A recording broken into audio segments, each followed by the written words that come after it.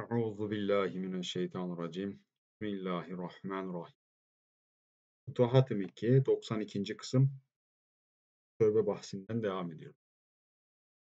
Allah şöyle buyurur. Sonra Rabbi onu seçti, ona yöneldi ve hidayet etti. Binaenaleyh tövbe eden Allah'tır, Adem değil. Adem'den ortaya çıkan öğrendiği kelimelerin gereği ve onlardaki tövbe zikridir.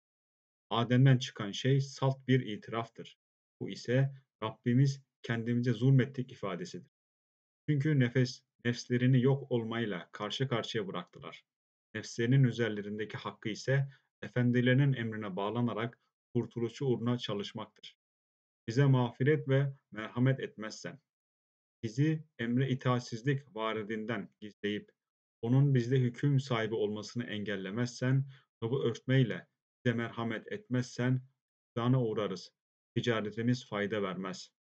Bu itirafın neticesi Allah da ona döndü yani günahını bağışladı ve hidayet etti ayeti oldu. Başka bir ifadeyle kendilerine bağışlayarak örterek onlara döndü. Bu ilahi örtme itaatsizliğin gereği olan cezalandırmayla Adem ve Havva'nın arasında bir perde oldu.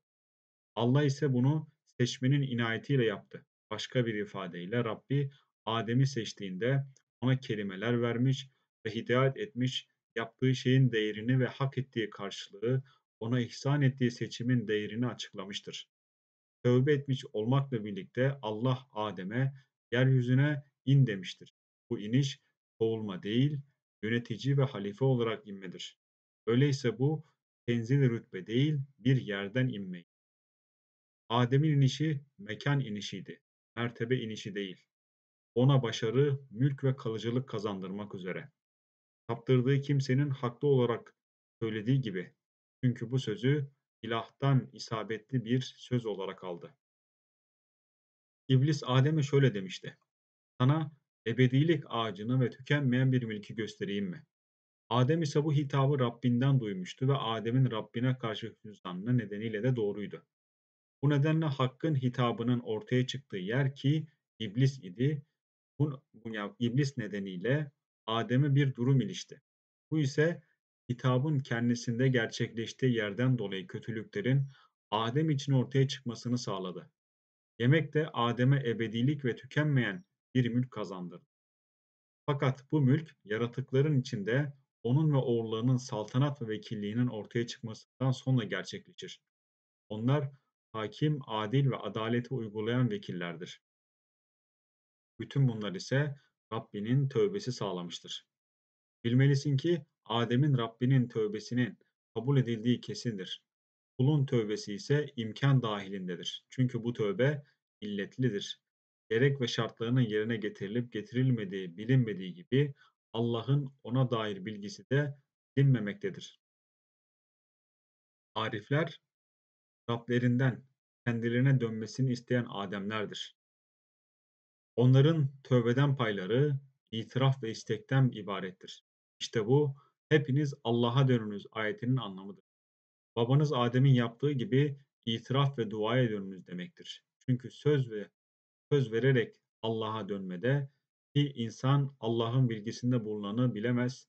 Büyük yani çünkü söz vererek Allah'a dönmede büyük tehlike vardır. Ki insan Allah'ın bilgisinde bulunanı bilemez. Söz veren de itaatsizlikten bir şey kalırsa verdiği söz bozulur.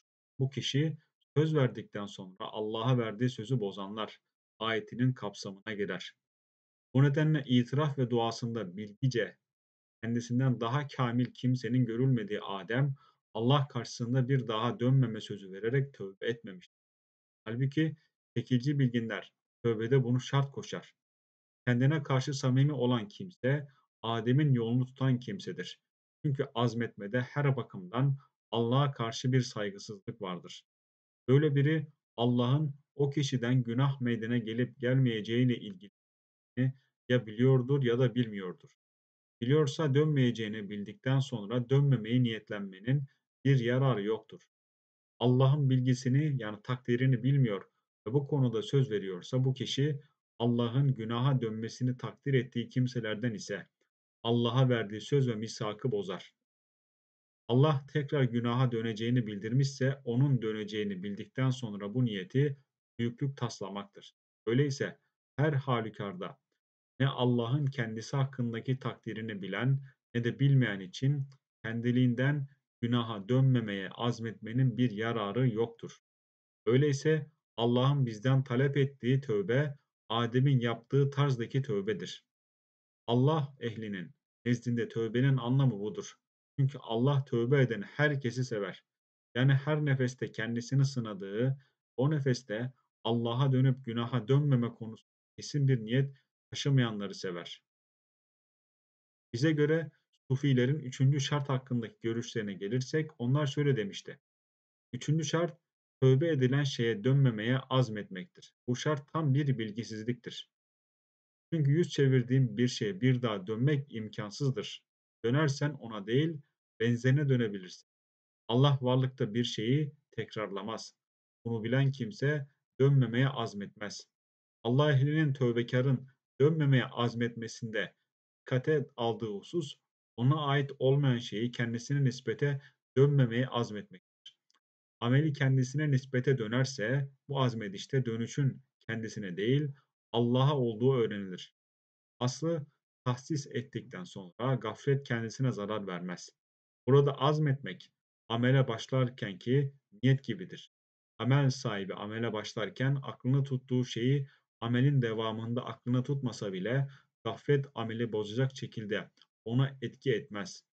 Azmeden kişinin azmetmeyle ilişkisi de böyledir. Bilmelisin ki tövbe makamı ölünceye kadar insana eşlik eden makamlardandır. Kul yükümlü olduğu sürece bu makamı sürer.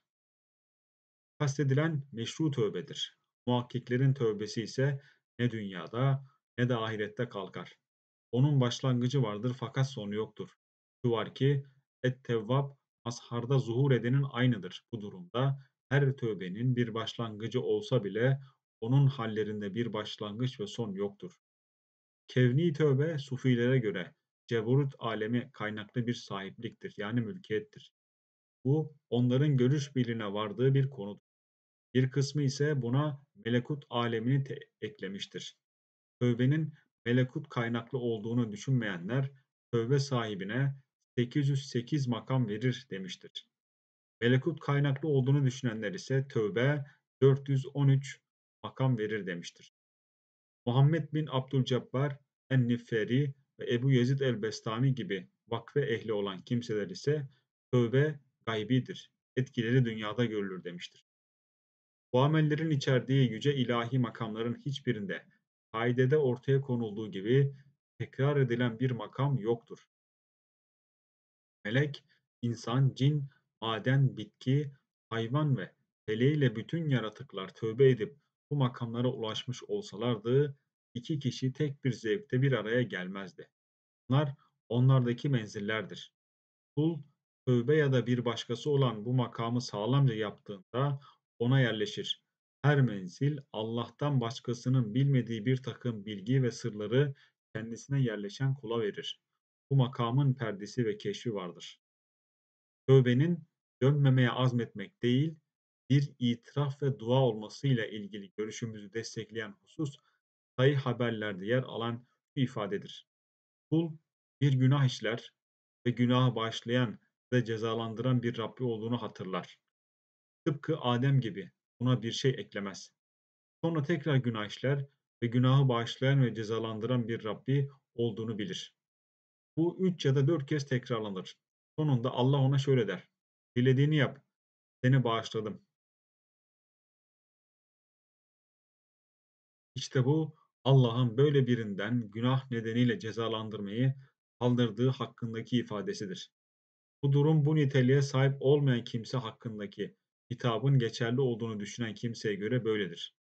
Hadisin zahirine gelirsek Allah daha önce yasakladığı bir şeyi bu durum nedeniyle mübah kıldı.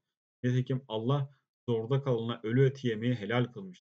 Halbuki zorda kalmadan önce domuz eti yemek de haramdı. Sonra şunu açıkladık. Allah'ın kullarından başlangıçta kendisinden gerçekleşecek davranışa muttali ettikleri vardır. Böyle biri döneceğini bildiği halde tekrar günaha dönmemeye nasıl azmedebilir ki? Meşru bir tövbenin, meşru tövbenin tanımının başlangıçta azmetmek olduğuyla ilgili herhangi bir dini hüküm gelmemiştir. Öyleyse tövbe Adem hadisinde belirttiğimiz gibi olmalıdır. Allah'ın şu ayeti de bunu destekler. Sonra tövbe etsin diye Allah da onlara döner. Allah çokça tövbe edendir. Tövbeyi kabul eden ya da kula dönendir. Yani iki halde tövbe fiilinin faili siz değil Allah'tır. Bu ifade attığında sen atmadın fakat Allah attı ya da onları siz öldürmediniz Allah öldürdü ya da her neyi keser ya da bırakırsanız Allah'ın izniyledir. Ayetlerinde belirtilen duruma benzer. İlahi izin ilahi emirdir. Allah bazı ağaçların ayakta kalmasını emretmiş, onlar ayakta kalmış. Bir kısmının kesilmesini emretmiş, onlar da insanların kesmesi değil, Allah'ın izniyle kesilmiştir. Diğer ağaçlar da Allah'ın izniyle ayakta kalmıştır. Bununla beraber insanlar kesme ve kesmeme fiiliyle nitelenmişlerdir. Onlara ait bu nitelik Allah'ın izniyle çelişmez. Çünkü Allah'ın ağaca dönük izni burada bir şeydeki istidada benzer. Bu yorumla ağaç kesilmeye müsaittir. Ağaç da kesme eylemini kesenden kabul etmiştir. O halde Allah'ın izniyle ağaca söylenmiştir. Bu ifade iznimle kuş olur ifadesine benzer. Hazreti İsa'nın üflemesi hayvani ruhun var olması için. Çünkü üfleme yani Hazreti İsa'dan çıkan hava hayvani ruhun ta kendisiydi. Bu üfleme kuşun cismine girmiş ve ona yayılmıştı. Kuş ise nefes vasıtasıyla hayatı kabul etme istidadındaydı. Nitekim buzağı da tamirinin kendisine attığı şey nedeniyle canlılığı kabul etmişti. Kuş Allah'ın izniyle uçtuğu gibi tamirinin buzağısı da Allah'ın izniyle böğürmüştü. Bu nedenle Allah ayette fasıkları başarısızlığa erdirmek için dedi. Fasıklar yani çıkanlar yani dışta kalanlar bir ağacı kesen diğerini bırakan ilahi iznin bilgisinden dışta kalanlardır. Şeyhlerimizin bu makamda bir takım tanımları vardır ki mümkün olanların zikredeceğim bu sözlerdeki maksatlarını tasavvuf yolun gereğine göre açıklayacağım. Bütün makamlarda şeyhlerin sözlerine böyle yaklaşacağım. Onlara bir şeyin mahiyeti sorulduğunda o şeyin zati tanımıyla cevap vermezler. Bunun yerine söz konusu makamın sahibinde meydana getirdiği duruma göre cevap verirler. Onların cevapları zevk ve hal bakımından bu makamın onlar adına gerçekleştiğini gösterir. Nice insan vardır, bir makamı tanımayla bilir fakat onda o makamın kokusundan eser bulunmaz. Hatta o makamdan uzaktır. Mümin bile değildir. Bu kişi o makamın zati ve betimsel tanımını ise bilir. Binaenaleyh bir şeyin sonuç ve haline göre cevap vermek, kuşkusuz onun zati tanımıyla cevap vermekten üstündür. Çünkü makamların bilinmesindeki yegane neden, şahısta bir etkilerinin bulunması. Makamlar başka bir şey için değil, sadece bunu için amaçlanır. Doğruya ulaştıran Allah'tır. Arkadaşlarımız saliklerin ilk menzilinin ne olduğu hakkında görüş ayrılığına düşmüştür. Bir kısmına göre ilk menzil ya kaza, bir kısmına göre intiba, bir kısmına göre de tövbedir. Hazreti Peygamber sallallahu aleyhi ve sellem böyle demiştir. Pişmanlık bir tövbedir. Bu hadis hac Arafat'tır hadisiyle aynı bağlamaya gelir.